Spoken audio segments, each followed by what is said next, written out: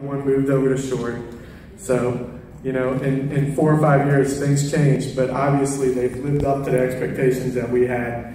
And um, so first for our pitcher award, uh, that's Evan. He was 9 and 2 this season. He sported a 1.03 ERA. He has 17 career pitching wins, which ranks him near the top of the school record. Uh, he actually passed Coach Lubno, who's not here tonight, who has 16 career wins uh, two weeks ago with his win over Luray. Um, Evan was named first team bull run pitcher, first team bull run outfield, second team all region pitcher, second team all region outfield, and was named honorable mention outfield in the Washington Post over the weekend. He'll be playing for Eastern Mennonite University next year, so to one of my most stubborn players ever, our Pitcher of the Year award is Evan Davis.